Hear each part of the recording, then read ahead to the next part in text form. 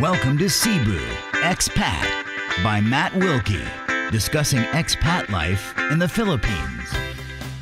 Basketball's a big thing in the Philippines. Um, one of the things I want to say on this, there's a lot of sports around that you ain't, you don't see. Um, one of my wife's cousins plays uh, quite high level in the uh, basketball leagues um, in the Philippines, but also he's quite famous um, within the Philippines. Um, but I go and try and see some of his games when he's in the area because he plays all over the country. But the reason I'm bringing this up is it's something to do because a lot of people forget when you retire or you go over there, you often get into this little bubble um, because you're dealing with the people around you all, uh, all day long. And it's like me, my mother in law will get fresh vegetables and stuff from the market. Um, she runs the store that we own next door. So getting beer or anything else, it's all in the store. Uh, my father-in-law deals with all my paperwork and getting construction materials, etc. Um, and then pretty much anything else, either me and my wife go out for a meal, but pretty much everything else, you don't really need to leave leave the house because everything's done for you. We have a laundry woman come and do the laundry. Um, all the bill, like I said, all the bills and stuff are paid by my in-laws. Go and pay all the bills and that for us. Um, food's at the house. There's no reason to leave the house. Well, plenty of reasons to leave, but you get in a habit where you don't need to.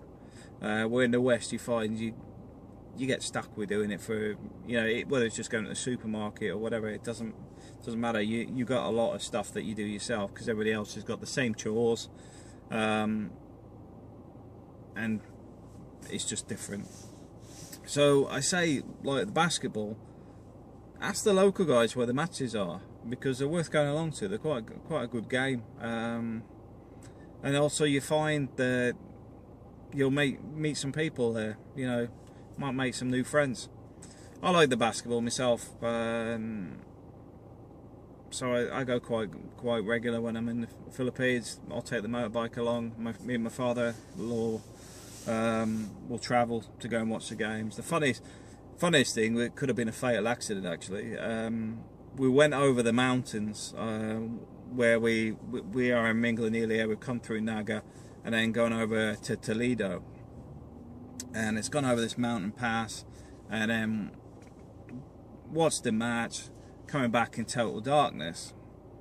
Um, we're doing probably about 70 miles an hour on my motorbike. My father-in-law's on the back, and basically there's a little plywood sign at the side of the road that basically says the road's gone.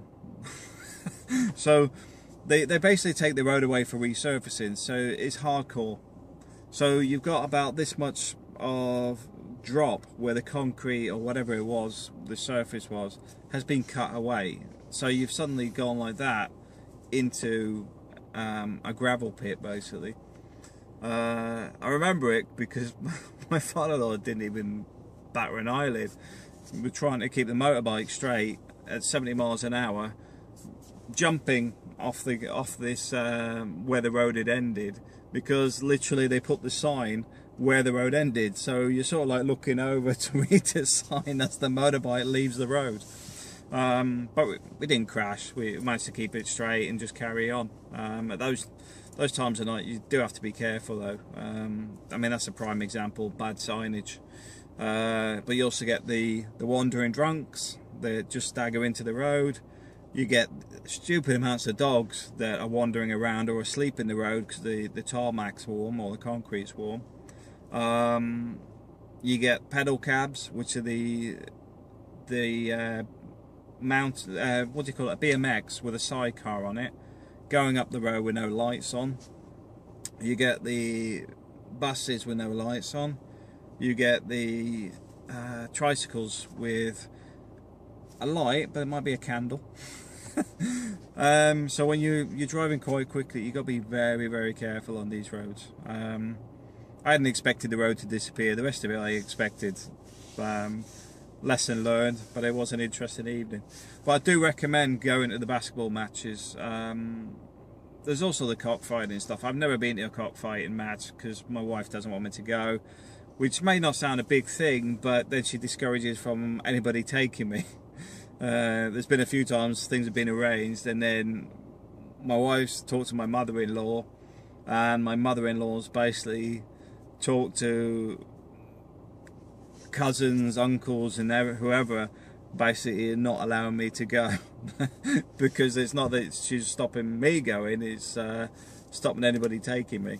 Um, there's reasons behind that because there's been the Philippines has got a lot of gambling issues. Uh, as such, it's not it's not a done thing in in our family to be um, gambling. Although I'm not going for the gambling, it's just for the experience. But yeah, so I've never actually been to a cockfight, uh, but my father-in-law actually breeds and looks after fighting cocks for um, himself plus other members of the family. Quite a big business. I, I, I know one of our relatives. He he actually breeds them for selling, and I remember his feed bill for the he's spending, I think it was about 30,000 pesos a week in animal feed. Um, bear in mind, these are quite expensive fighting cocks. But 30,000 pesos is a lot of money. Because um, he was asking me to invest, but I was overseas at the time. Because that's it's a license to print money. If you're not actually fighting them, but you're actually selling them, the only risk you have is NPA, to be honest. Um, which happened to where was the guy? I think it was on Bohol. No, no, no, no, it wasn't. It was it was Negros Island. The this guy has a farm for breeding the fighting cocks, and these NPA that asked for, I think it was some money plus three or four cocks to eat. Uh, the guy refused. The following day, he got up to find they'd beheaded every single uh, cock and chicken he had. Um, and it, it's just the way it is. Um, but we generally don't have any of those issues where we are. Um, but a lot of the fighting cocks are done on other islands because it's cheaper. Um, people are cheaper to employ, land's pl plentiful, and as long as you ain't got uh, issues with NPA and uh, probably in Mindanao more the the MILF, um, then you're not really going to have any issues. It, then normally the people will be a bit of a pain. The the relationship with the fighting cocks and the gambling pits, etc., and the police is something not for me to really discuss, but there is quite a close relationship with those entities. But yeah, sports in the Philippines, love the basketball. Um, a lot of the places aren't air conditioning, so be warned. I normally just wear a vest top. There is no point wearing anything else unless you like being soaked in sweat. Um, but they're quite a good atmosphere. You like, you could have like a crowd of four, five hundred people in one of these events.